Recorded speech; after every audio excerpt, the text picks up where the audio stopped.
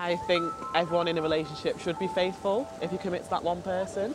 I think it depends who you are. It's slightest thing and they can be unfaithful. I think when you've loved and trusted somebody all your life and they do that to you, I think it's probably beyond repair for me, even after 38 years. I think sometimes you can love your partner, especially like even men, like for that one second you can find someone really attractive and then just kind of forget everything else.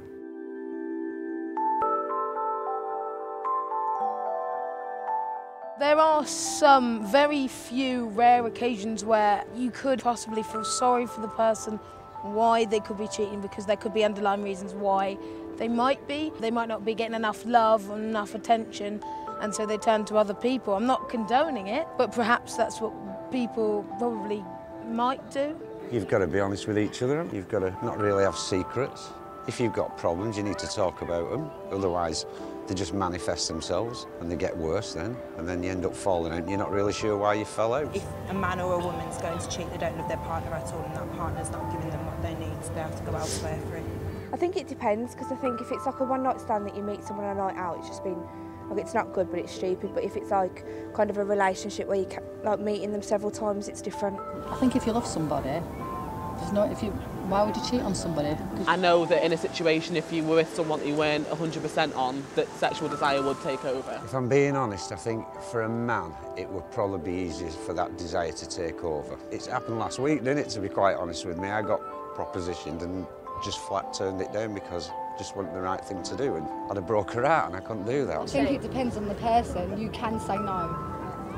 You just, it's a choice. It is literally a choice. in the moment just before you kiss, where it's does sexual desire take over from your faith, I think a lot of people have concluded that in actual fact you have a decision, you have a moment that you can make a decision and say yes or no. Well, there's no excuse really. It's just weakness, isn't it? If, you, if you're going to cheat, it's not really love, is it?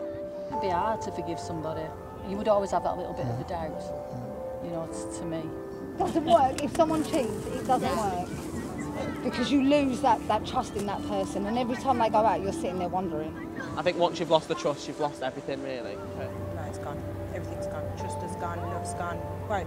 You'll always love that person, probably, and it will hurt you, but you won't ever be able to look at that person the same way before, I think it depends. If it was like a one night stand, I think you could probably forgive. But if Right, it's how which one of us is in a relationship and which one of us isn't. um, I think if it's like like if they are meeting someone and texting someone and building like a friendship as well, like, you wouldn't be able to forgive that. We found that faith is really important in a relationship. It's one of the founding structures that you need to build a healthy relationship. And the people who we talk to have been in a relationship for years and years. You can tell the trust is built between them.